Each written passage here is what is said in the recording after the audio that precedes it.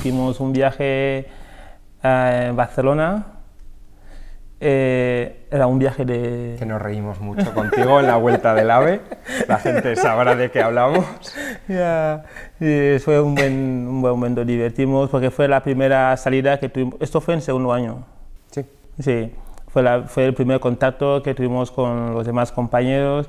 Eh, éramos los de segundo, tercero y cuarto. Y fue una experiencia más. Me acuerdo, por ejemplo, nuestras primeras prácticas, que todos fuimos ahí un poco a la expectativa porque nadie sabía muy bien fisioterapia y de repente nos dijeron que nos teníamos que, quitar la camiseta y los pantalones, que nos teníamos que poner ropa interior y nos, nos miramos todos un poco en plan, esto que está diciendo, ¿no? ¿Dónde nos hemos metido aquí?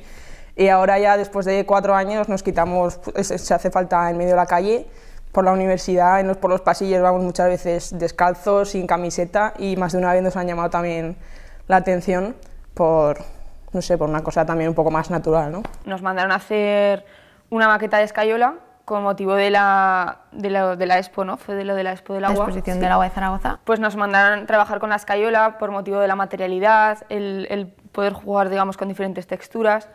Y nada, un compañero, eh, las, en papel, todos los planos, los croquis, todo estaba todo perfecto, pero a la hora de llevar la maqueta a cabo no le salía, no había manera. Esa forma no la podía conseguir con la escayola. Así que después de un intento, otro intento, otro intento, nada, no le salía, hizo la maqueta con corcho.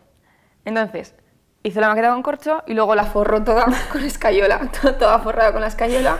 Pero bueno, lo mejor de todo no fue como hizo la maqueta, sino luego lo que le pasó en clase. Llega a clase, es su exposición y le toca exponer a él. Coge su maqueta como si pesase como una piedra gigante, la pone encima de la mesa y lo mejor de todo es llega el profesor, la intenta levantar con toda su fuerza y se da que cuenta él. de que no pesa absolutamente nada.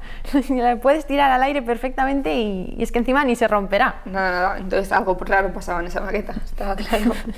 Bueno, yo, yo destacaría como momento divertido cuando acababan exámenes y nos íbamos todos juntos a una casa rural, que en dicha casa había, había un jacuzzi y parecía que nos, que nos peleábamos por estar allí. que merendábamos, comíamos y cenábamos en el jacuzzi. Luego veías por ahí patatas flotando por el agua y había gente que se quería quedar a dormir, intentaba de alguna forma agarrarse o, o o buscar alguna ma- plataforma para quedarse ahí metido las 24 horas. Desde el primer día la amistad y el buen compañerismo fue, se hizo presente, la verdad que es un buen recuerdo para mí. Ya, Este, siempre hemos estado como hermanos. yo siempre digo que cuando vaya a Guinea, espero que cuando tenga la carrera, si voy a Guinea, espero que no pierda el contacto. Se nos quiere llevar a todos para allá. Así, de verdad. Pues yo recuerdo una anécdota muy, muy, muy divertida de los mejores momentos de la universidad fue cuando grabamos la, la gala de, de segundo año y nos llevamos al profesor de inglés, que es nativo americano, y nos lo llevamos a un pueblo que se llama Cariñena. Entonces montarlo con un traje de, de pueblerino y verlo subido en un tractor, pues la verdad es que fue bastante curioso y uno de los momentos más, más, más divertidos de la gala, el ver a nuestro profesor americano siendo el más pueblerino de todos.